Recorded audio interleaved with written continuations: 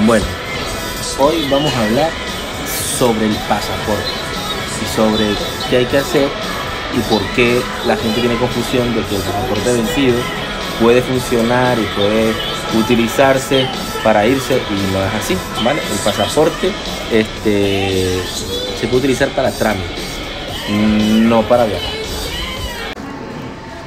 Ajá, quiero aclarar aquí importante el punto del, del pasaporte. ¿Por qué? Porque el pasaporte, mucha gente con el tema de que lo están aceptando, de que se va, van a ver la prórroga y tal, la gente cree que con eso puede salir del país.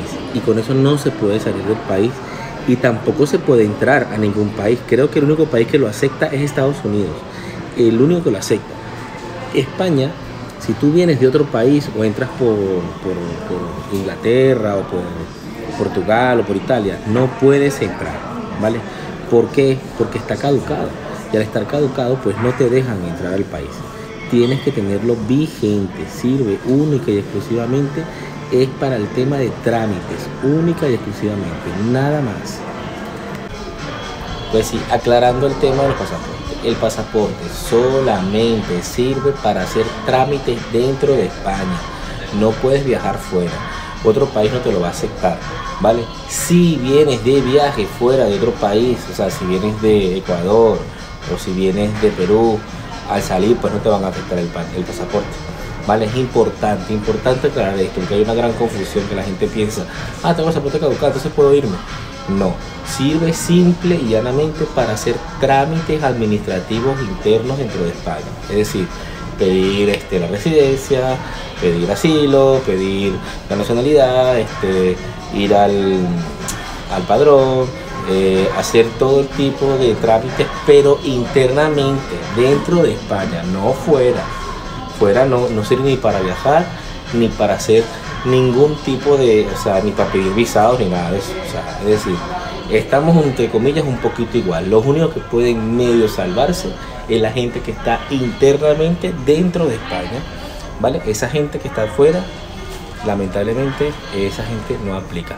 Ah, importante, aplica a partir del 15 de marzo del año en curso. Es decir, si tu pasaporte se caducó en diciembre de este año no entra en la lista. En enero no entra en la lista.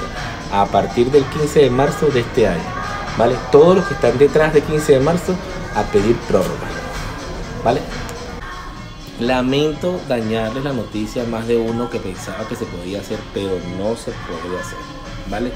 Es importante que tengáis claro de que si estáis fuera del plazo, es decir, a partir del 15 de marzo, tienen que pedir prórroga, ¿vale? La prórroga, como todos sabemos, es hay una rosca, hay una mafia que hay que pagar por debajo de cuerda y tal, pues toca, ¿vale? Eh, solamente sirve para pedir residencia, renovar residencia, este, pedir asilo, renovar el asilo o el padrón o cosas de eso. Pero para nada más sirve. Siento decirlo, pero así funciona, ¿vale? Lo siento. Bueno, haciendo un pequeño resumen de, del video que estoy haciendo hoy, como verán estoy de compras, ¿vale? Bueno, de compras, viendo más bien los precios de las cosas. Eh, eh, importante, el pasaporte no sirve para viajar, ¿vale? No sirve para entrar a España. Eh, creo que el único país donde se puede entrar teniendo la visa vigente, creo que es Estados Unidos, de resto no puede, pero claro, no puede salir de otro país. Entonces estamos en la misma. Eh, eh, hay mucha confusión con respecto al tema del pasaporte y es importante aclararlo. No se puede viajar con el pasaporte caducado. O sea, ni siquiera te dejan entrar.